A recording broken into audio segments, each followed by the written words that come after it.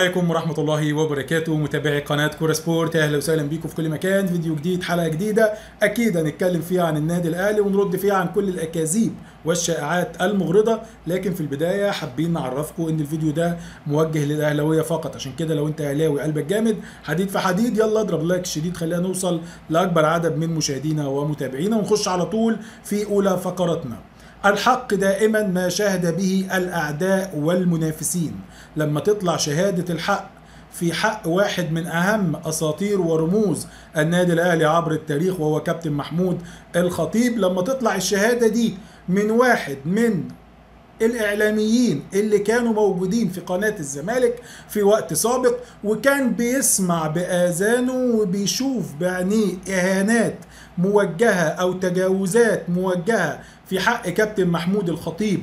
وما كانش بيرد عليها أو كان بيغض الطرف عنها لأنه ما يقدرش يرد على المتحدث أو المتجاوز في حق الخطيب لما يطلع النهارده أحمد جمال في القناة اللي بيعمل فيها والبرنامج بتاعه ويقول إن الكابتن محمود الخطيب راجل إداري راجل فاهم راجل ادارجي ممتاز لما يقول للعيبة إن لسه الحسم بتاع الترجي ولسه بدري على البطولة ولسه في ماتش في القاهرة ولسه ولسه ده بيدل إن إحنا قدام قيمة وقامة ورئيس نادي فاهم مش لسان وبس. ده حاجة بسيطة. في حق كابتن محمود الخطيب لكن حبيت أبدأ بيها علشان لما نيجي نتكلم عن الخطيب الزملكاوي يقول لك ما أنت بتتكلم عن الخطيب عشان أنت أهلاوي لكن لما يطلع واحد من ضمن الإعلاميين اللي كانوا بيسمعوا تجاوزات في حق الخطيب وما بيردوش ما كانش بيرد لأن التجاوزات ديت حقيقة لأ ما كانش بيرد خوفا على مكانه أو الشغل بتاعه وأكل العيش. بس إنما النهارده الراجل بيشهد كلمة حق في حق كابتن محمود الخطيب. تعال نروح لبلاص الشريف. بلاص الشريف حرم الآثار.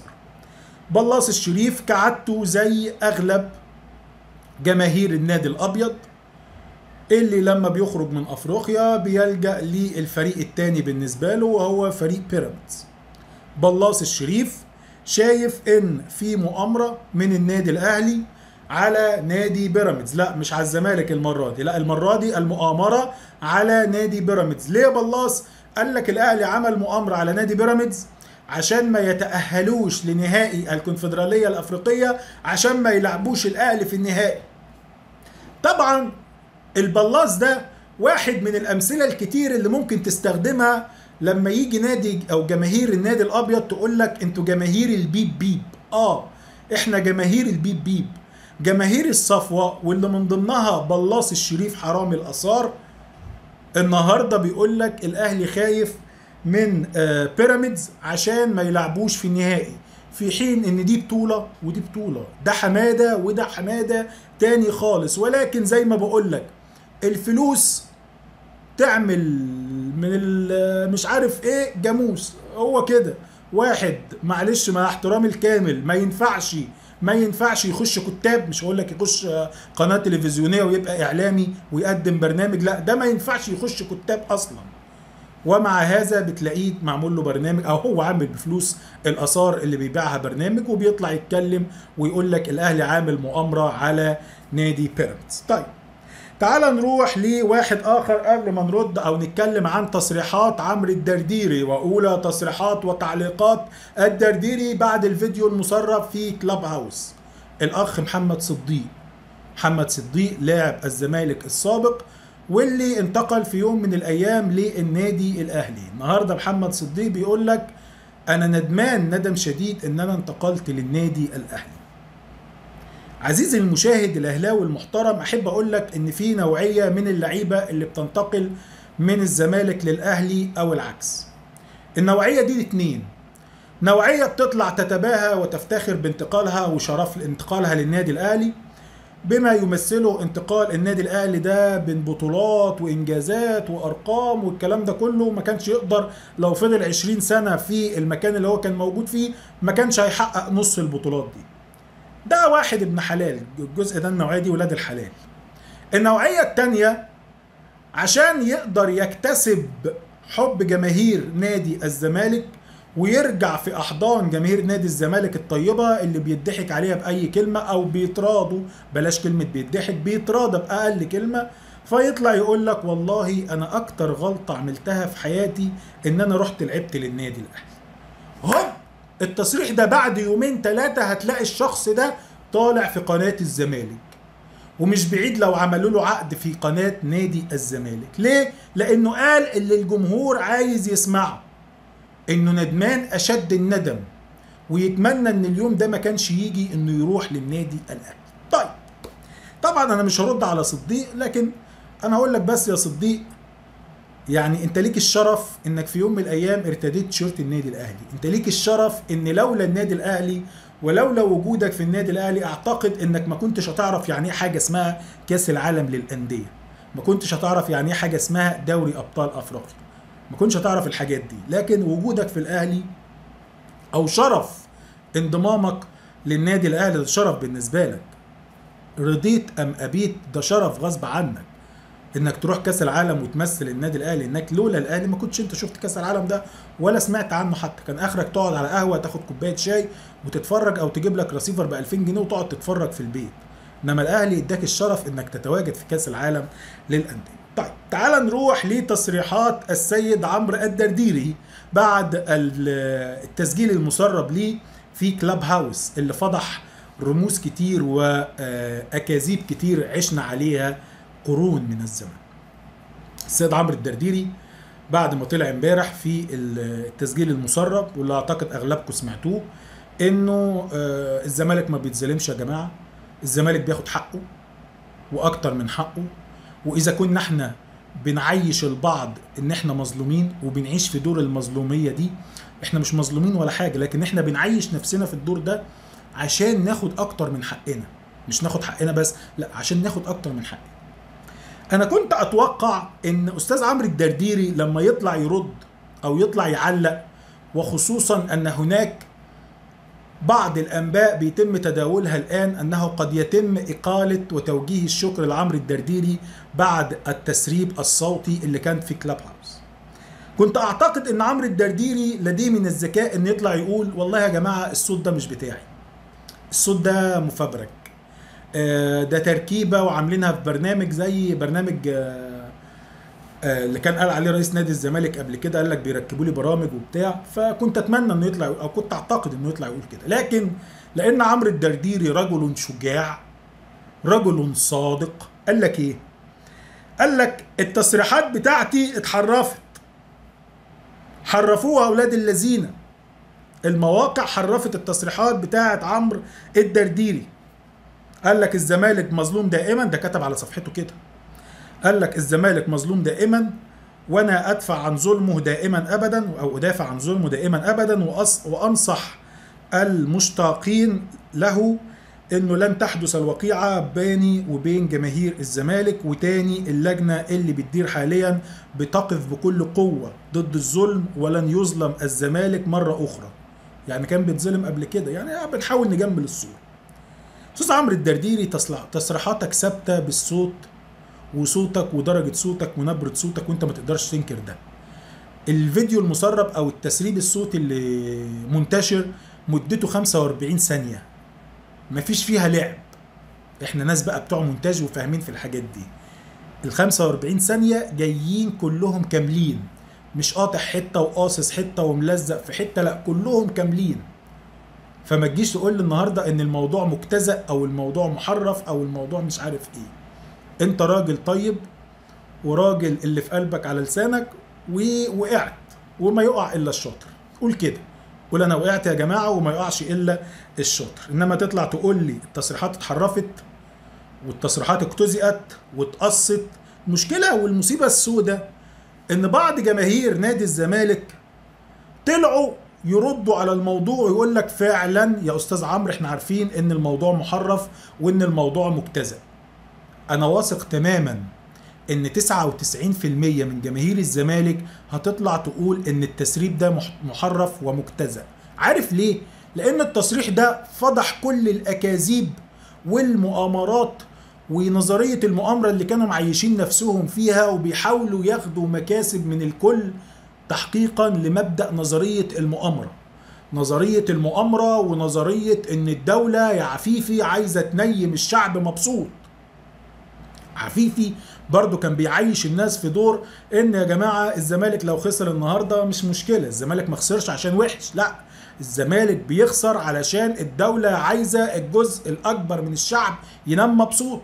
فعشان كده الزمالك خسر. الزمالك ما اتحسبش ليه ضربة جزاء النهارده عشان الجزء بتاع الدولة أو جزء الشعب عايز ينام مبسوط. فالزملكاويه يقول لك إيه أستاذ عمرو؟ كلنا عارفين وواثقين ومتأكدين وفاهمين إن الكلام دوت محرف ومن غير ما حضرتك تتعب نفسك ولا ترد ولا تتعب نفسك الإعلام والصحافة كلهم لون أحمر وإحنا بنتمنى حضرتك تشكي المواقع دي عشان الجراءة في الكذب. أنا أتمنى من الاستاذ عمرو الدرديري إنه يطلع ويشتكي المواقع ويقول إن التصريحات دي محرفة. لأن اللي سجل سجل اللي بتاع كله. اللي سجل سجل اللي بتاع كلها.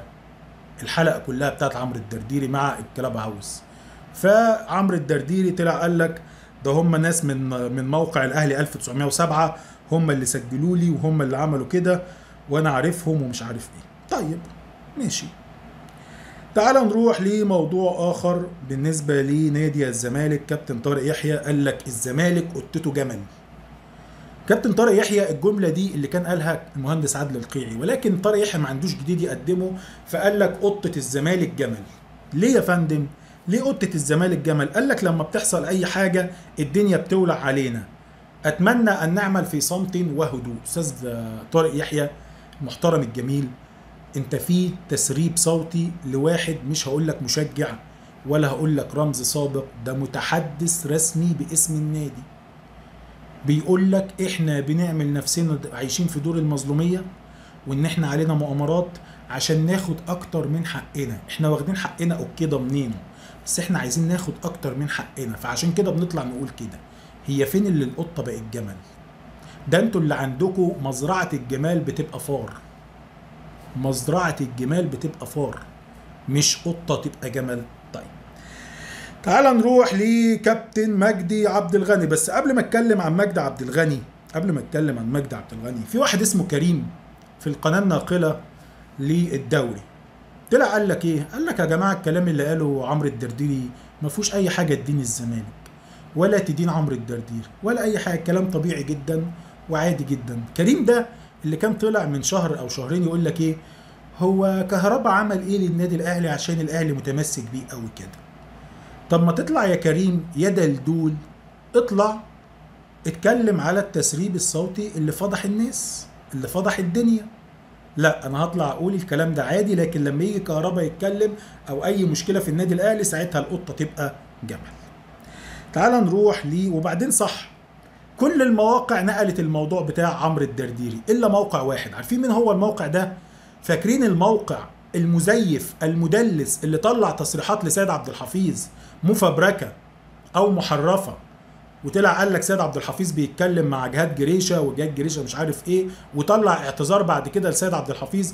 هذا الموقع لم يتحدث من قريب أو من بعيد عن خبر عمرو الدرديري. كل مواقع مصر اتكلمت عن موضوع عمرو الدرديري إلا الموقع ده. إلا الموقع ده. ليه؟ اسألوا نفسكم.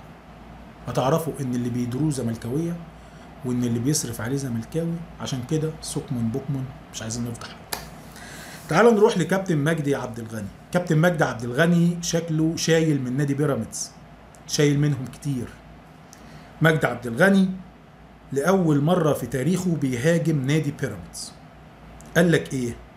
قال لك بيراميدز عنده مشاكل عديدة وكتيرة على مستوى الإدارة بالإضافة للأزمات اللي داخل الفريق الأول وضعف المدير الفني. قال إن بيراميدز أنفق ما يقرب نص مليار جنيه الموسم ده ومفيش أي حاجة وترتيبه التاسع في بطولة الدوري وده مركز لا يليق ولا يتناسب مع حجم الإنفاق. قال إن عقد أروى بارينا بياخد أكتر من 200 ألف دولار في الشهر. يعني بياخد 3 مليون جنيه في الشهر في الشهر. يعني معدل 100 ألف جنيه في اليوم. تخيل أنت مرتب أروى بارينا 100 ألف جنيه في اليوم والنتيجة صفر. صفر وصفر كبير بكحكة كده. قال مجدي عبد الغني إن كان لابد من رحيل الأخ أروى بارينا وإزاي واحد زي عمرو بسيوني يبقى مدير التعاقدات هو مجرد وكيل لاعبين وأزمة عبد الله البكر والمهدي سليمان اشتكوا من بيراميدز إن هم خصموا منهم مبالغ مالية كبيرة لا تتساوى مع الجرم اللي هم عملوه أو الذنب أو المشكلة أو الأزمة اللي هم عملوها. طيب تعال نروح للكابتن خالد الغندور ضيفنا الدائم. خالد الغندور اللي بيعلن إن نادي الزمالك توصل لاتفاق مع بديل فرجاني ساسي وفي نفس الوقت بيقول لك الزمالك منتظر عودة فرجاني ولو عايز يجدد إحنا جاهزين نجدد. هو بس السؤال للكابتن خالد الغندور جهبذ الإعلام في مصر. في إيه حضرتك تعاقدت واتفقت مع بديل ساسي وفي إيه إنك ساسي لو رجع إحنا جاهزين للتعاقد؟ اذا في جزء من الاتنين في كذب. أو في اشتغالة. بلاش كذب. الاشتغاله إن أنت بتقول أنا اتعاقدت أو اتفقت مع بديل ساسي. لا ده ما حصلش. الزمالك لم يتفق مع بديل ساسي. آه في لعيبة مرشحة ولكن لسه لحد اللحظة ما اتفقش مع بديل ساسي. والمؤكد أيضا إن ساسي خلاص مش راجع الزمالك تاني. والله لو مسكت طبلة برق وقعدت تطبله مش هيرجع. خلاص. خلاص الراجل مش راجع تاني لأن في شرط جزائي بينه وبين النادي القطري اللي وقع ليه. قال لك عيب قوي لما ساسي يوقع للدحيل وبعدين المدرب يقول مش عاوزك انت رايح الدوري القطري مش الدوري الإنجليزي. أتمنى يكون في شفافية من ساسي ووكيله وأتمنى يستمر مع الزمالك لو حابب. وأنا بس عايز أقول سؤال للكل. هل تتذكر عبد الله السعيد؟ لما عبد الله السعيد وقع للزمالك ورجع وقع لتجديد النادي الأهلي ولما عرف مسؤول النادي الأهلي بالرغم إنه جدد بالرغم إنه جدد للأهلي وقال لك خلاص والمستشار تركي آل الشيخ وعد كابتن محمود الخطيب إنه هينهي موضوع التج... العقد بتاعه مع الزمالك وهيخلص هو مع مرتضى منصور وتدخل لحسم الأمر لعدم إيذاء عبد الله السعيد. طلع النادي الأهلي في نفس الليلة قال إيه؟ عرض عبد الله السعيد للبيع والإعارة. ليه للبيع والإعارة؟ مش هو جدد خلاص والراجل والراجل راجع ندمان قال لك آه بس إحنا الأهلي. إحنا ناس عندنا كرامة. الكرامة دي ده في ناس كتير ما تعرفهاش على فكرة. في ناس كتير ما تعرفش يعني إيه كرامة. في نادي كبير عندهم لاعب بقاله أربع خمس ست شهور مسففهم التراب ومع هذا بيطلعوا كل يوم والتاني على القنوات ناقص يلحسوا الجزمة عشان اللاعب ده يرجع. عشان اللاعب ده يرجع. لكن النادي الأهلي اللاعب رجع وأبدى ندمه وقال لك أنا آسف وبعتذر ولو عايزين نطلع أعمل اعتذار أطلع وجدد عقده. النادي الأهلي بعدها بساعات عرض عبد الله السعيد للبيع أو الإعارة. مش عايزينه. على الرغم إن عبد الله السعيد وقتها كان أفضل لاعب في مصر. ومع هذا بتقول له شكرا باي باي مش محتاج لك. أنا النادي الأهلي. الأهلي فوق الجميع. شاء من شاء وأبى من أبى. شكرا لكم